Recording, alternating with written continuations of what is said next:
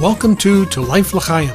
On today's episode, we're in studio with author Andrew Bostom to discuss his latest book, Sharia versus Freedom, all about Islamic law. We'll be right back with Andrew Bostom right after these messages.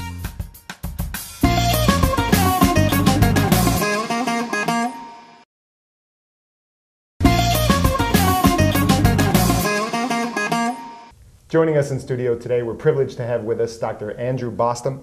Uh, Dr. Bostom is Associate Professor at the Warren Alpert Medical School at Brown University. And he's also author of The Legacy of Jihad, three books, The Legacy of Islamic Anti-Semitism, and his newest book called Sharia versus Freedom. Dr. Bostom, thank you very much for joining us on Life thanks, thanks for having me, Lee.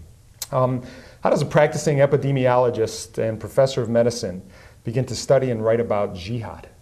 Uh, it really was uh, a result of, of the 9 11 attacks and um, feeling totally disoriented at the time. Um, I began reading independently uh, and became increasingly alarmed at uh, some of the apologetic presentations that I was seeing, particularly uh, in, in the media, in the academy. Um, and that's really the genesis of, of, of uh, the motivations for, for writing eventually what turned out to be three books now.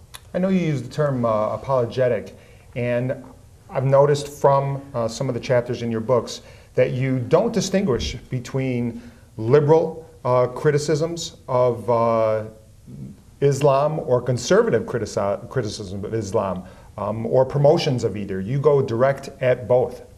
Uh, yeah, I, I, feel that, that the uh, cultural relativism, political correctness, however you want to uh, put it, uh, transcends uh, uh, political boundaries in the West.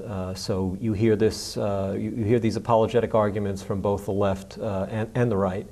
Um, and I think, um, again, it's been one of the motivations for trying to go directly to the sources, the Islamic sources, which outline the doctrine.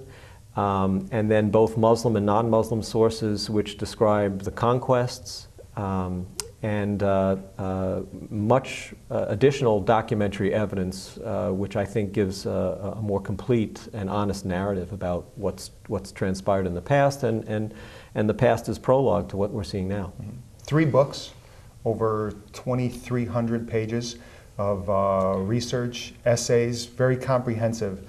Would you describe uh, Islam as a religion of peace or a religion of extremists?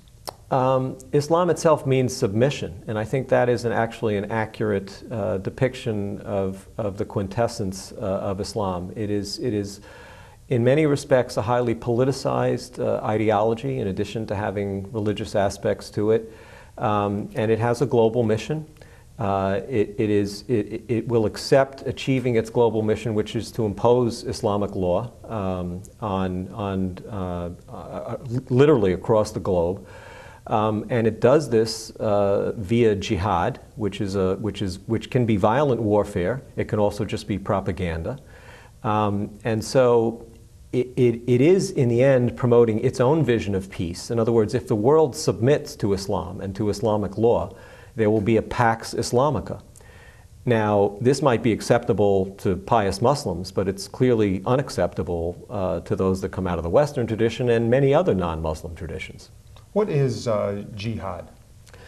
Uh, jihad is really a form of warfare. Uh, it, is, it is an institution in Islam, it is a central pillar uh, of Islam. Uh, it, it, doesn't have to be, again, violent warfare, but, it, but as I've documented certainly in, in the three books, uh, it, it, primarily is a form of warfare. Uh, it derives from Quranic injunctions, Islam's most sacred text. It's elaborated further in additional uh, canonical texts of Islam, the so-called traditions, uh, and it's also a major part of Islamic uh, jurisprudence. Um, and essentially, uh, it is the mission to spread Islam across the globe and impose uh, Islamic law. Now, this doesn't always have to be done uh, via warfare. It can be done by other techniques, propagandistic techniques, etc., uh, or the threat of violence. Um, but, but, it, but it is, that is its primary purpose. it, it is, it is to propagate uh, Islam. Most commentators, when uh, they show clips of uh, radicals in uh, various countries across the, the Middle East or Southeast Asia and North Africa. Um, they talk about it in terms of extremism. Um, your research talks about it in terms of mainstreamism. What supports your research? Yeah, I, I, think, again, if, if we get back to something as fundamental as the doctrine of jihad, it's a mainstream doctrine. Um, it, it, derives literally from, from, the, from the, the, the, the sunnah, the practice of, of Muhammad himself. Muhammad uh, was a proselytizer, but he also was a prototype jihadist. He waged many violent campaigns during his lifetime, and towards the end of his life, it became clear to his followers, through some of his own actions and through some of his own teachings, that, that this type of warfare was to be extended beyond the boundaries uh, of Arabia. Um, and so, uh, if, if uh, Muhammad is held up, and he still is, obviously, and we, and we see the great outcry when there's cartoons, et cetera, et cetera, that supposedly insult him, Muhammad is the role model eternally for Muslims, uh, then we see that uh, insinuated into mainstream Islam uh, is, is the notion uh, of jihad against the infidel. And we see it institutionally from, from all the, the major teaching uh, institutions uh, in Islam, uh, Sunni and Shiite alike, uh, those are the two major branches, mm-hmm. Uh, which still teach the doctrine of, of jihad, holy war, uh, to this day, unreformed, unrepentant. Um, and we also see um, polling data which, which suggests that even in the modern era, two thirds of Muslims across the length and breadth of Islam favor the recreation of Islam's uh, uh, uh, uh multinational state, the caliphate, uh, which was dissolved under Ataturk officially back in 1925. Two thirds of Muslims favor the recreation of a caliphate. Two thirds of Muslims favor the reestablishment, and the word is strict, of strict Sharia law. This comes out of uh, survey data from 2006 7. What is a caliphate? Define that. Yeah, the caliphate was the, was the transnational Muslim state, uh, again, which, which was alluded to, uh, uh, jurists argued, uh, in, in the Quran itself. Um, and then was, was uh, actualized by the foundational Muslim dynasties, which uh, burst out of Arabia. It's a doctrine.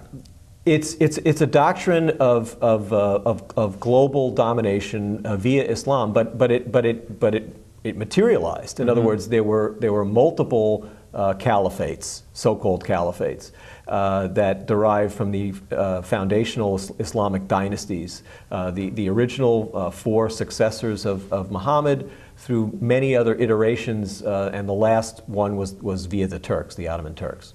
We have a lot to get to today, um, but first we have to break. But when we come back, we're going to discuss uh, Islamic anti Semitism, um, what's currently happening uh, around the world, and uh, we'll address more. Okay. We'll be right back after these messages.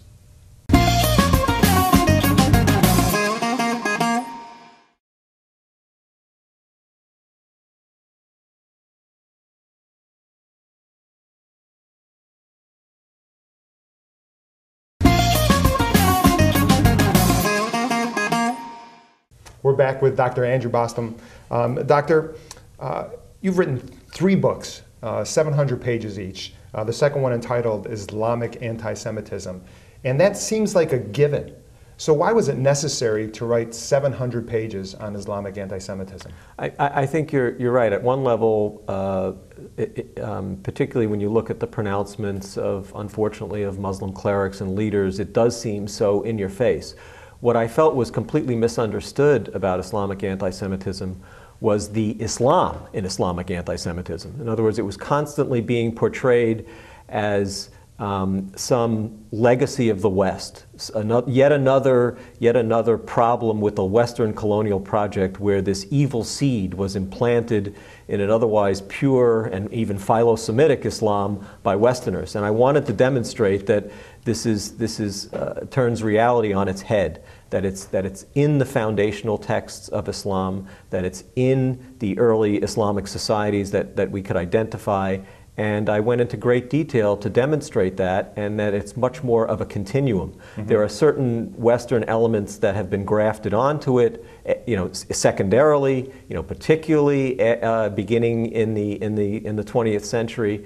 Um, but that if all those disappeared overnight, if if if uh, the protocols of the elders of Zion were never distributed and Nazi motifs were never reproduced. There would be this vast corpus, completely independent of those ideas, that would still persist. I, with respect to uh, your, your third book, Sharia versus Freedom, on page 36, uh, you put in context uh, the historical perspective of anti Semitism. And you write that Isla- Islamic tenet believes whenever a Jew is killed, it is for the benefit of Islam. Please This- explain this. This was very striking. Uh, uh, I'll just give a little quick background as fast as I can. That, that this was, this was, these were the words of a Sufi Indian Muslim, Sirhindi, who never had contact with a Jew in his life, as far as I could glean. And here he was, far removed from physical contact with Jews, and yet repeating this doctrinal idea. Um, and it struck me that, that this, this in and of itself blows up the false notion that somehow Islam has been immune to anti Semitism. Uh, it turns out that it was is part of an anti Hindu tract, and it just jumped out at me. And going back, I could see that the foundational sources of Islam, the Quran, the Hadith, uh, the, the biographies of Muhammad, were rife with a whole gamut of anti Semitic motifs um, that really owed nothing to the West. I think many people, though, are, are under the false impression that uh, anti Semitism, Islamic anti Semitism, really came into being with the formation of the State of Israel. But your research shows that it's uh, obviously gone on for centuries before that. No, unfortunately, the Quran is rife with anti-Semitic motifs.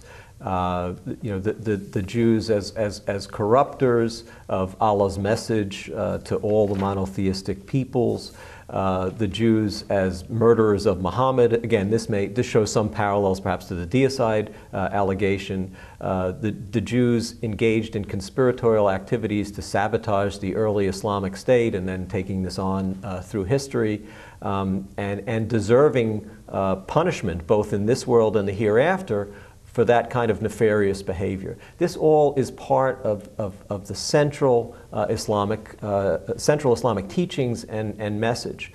Um, and, and I think uh, that, that this is something that, that has been neglected uh, or ignored or denied for, for a long period of time. And, and, and we see it in full force now.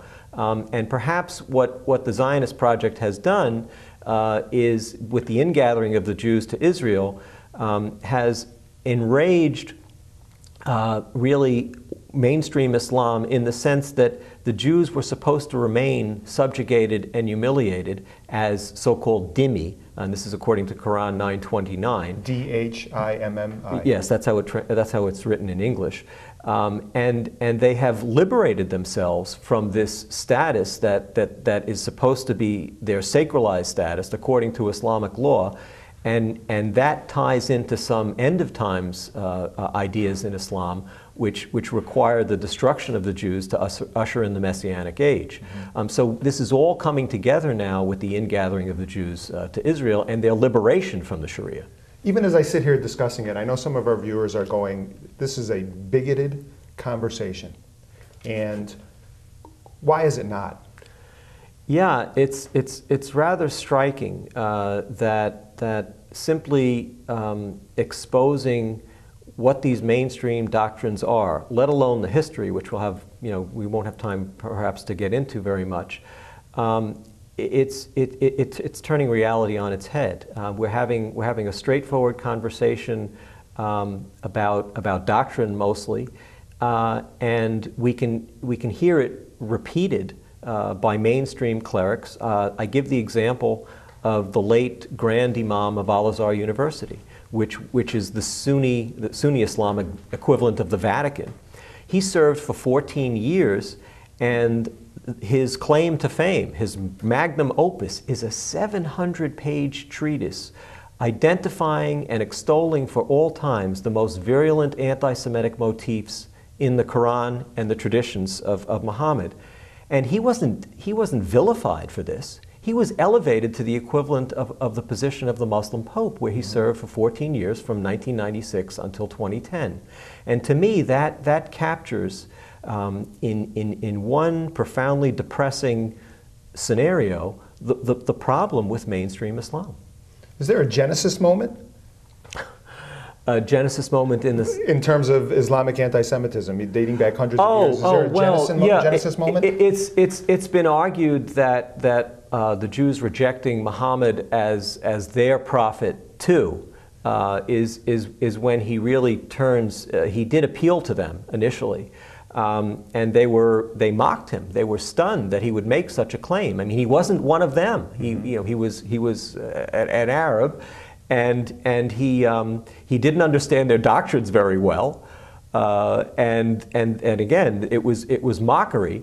Uh, and uh, I, I, think if, if, there is, if there is such a teachable moment, it, it, it would be the Jews' rejection of, of Muhammad as, as, their, uh, as, their, as their Messiah. Okay, we got another break. And uh, when we come back, we're going to get into uh, Sharia law in greater depth. Okay. We'll be right back after these messages.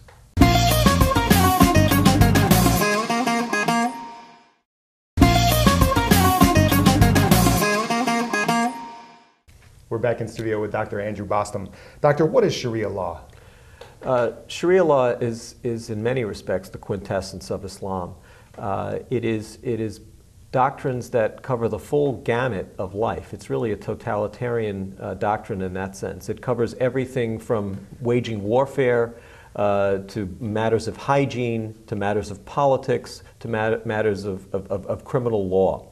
Uh, and it derives again from Islam's foundational sources, the Quran, the Hadith, the, the, the uh, biographies of Muhammad, uh, and also from a whole range of, of Muslim jurisprudence, uh, religious so law. Is it a separate document within the Quran or is it woven through the Quran? It's, there, are, there are literally sections of the Quran that, re, that, that, that iterate laws.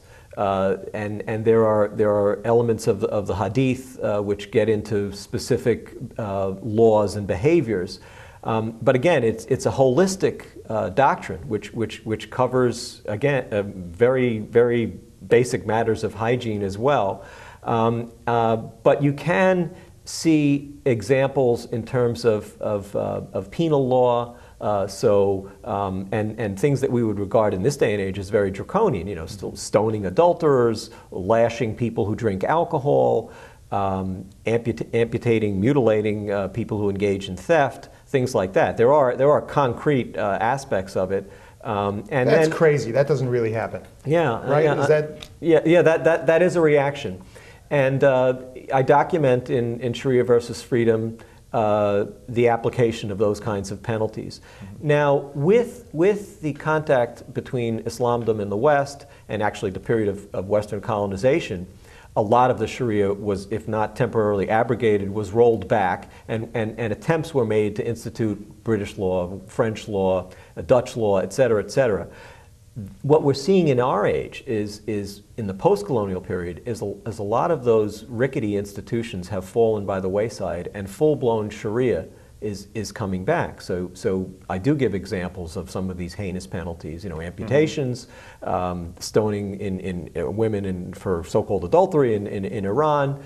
Um, and worse yet, though, is that what never really disappeared was the Sharia's rejection of our foundational Western freedoms of conscience and speech. And we're seeing this come back full force now with the Organization of Islamic Cooperation, which used to be known as the Organization of the Islamic Conference, which is trying to it's 57 member nations, so, the, so all the major Muslim uh, populations in the world, Muslim major nations in the world, um, are trying to impose on Western instruments, like the Bill of Rights, like the Universal Declaration of Human Rights, this so called Cairo Declaration, which says that Sharia overarches these human, modern human rights constructs, and that we have to go back to accepting um, that, that you can't criticize Islam, you certainly can't criticize Islam's prophet Muhammad, and if you do, Sharia punishments for blasphemy should be applied, or people who leave Islam, even if they're in Muslim communities in the West, are potentially committing a, a, an act of treason, which is how Islam views apostasy, and they too should be punished. Mm-hmm. Um, so we're beginning to see the re-emergence of, of, of, an, of, of, the attempt to internationalize Islam, which actually has, again, ancient roots in terms of Islam seeing itself as a universal system and mission. But I think many people would say that is over there. That's yeah. in the Middle East. It's not here. We have U.S. courts, U.S. laws. There's nothing to fear with respect to Sharia law. Yeah, and it's breaking down, and, and it's breaking down as we as as we speak. How uh, so? we're, we're, seeing we're seeing. Um, the, uh, for example, in the reactions to this to this uh, uh, trailer that, that was made uh, by by a, a, a Coptic Christian, um, you know, which included uh, unflattering commentary on Islam's prophet, uh, we're seeing the attempt to to insinuate Islamic blasphemy law and, and punish people in the United States. Um, and we also know that the Muslim communities in the United States, institutionally, not, not at the level of individual Muslims, uh, are sanctioning behaviors that, that we, we would find radical. They are, they are sanctioning the application of, of Sharia. Uh, 81% of, of US mosques, in a very carefully done uh, population sample study, uh, are fomenting jihad. Uh, we have the Assembly of Muslim Jurists of America, which covers North, Canada and, and the United States, issuing fatwas that sound as obscurantist about these kinds of issues apostasy, blasphemy, child marriage, female genital mutilation as anything that you would get out of the Middle East itself. Mm-hmm. Now, in, in the presence of American criminal law, um, it can't be acted upon yet, but, but that is the goal, and that is the advice given to Muslims as to how they might wish to behave in North America. So to, to, so to pretend that these phenomena are not going on in, in the West is just delusional. Are you an, are you an Islamophobe? um, I, I, think that I think it's it's it's an invented and ridiculous term. I, I, I think I think it's a term that's used to, to attempt to silence, to impose Islamic blasphemy law on people who want a rational discussion of these issues, who've studied the doctrine, who've studied its application across space and time, and are very concerned that we don't surrender our hard won freedoms uh, to this kind of system, which is completely antithetical and alien uh, to everything that, that brave Americans have fought for. We have about a minute and a half uh, left.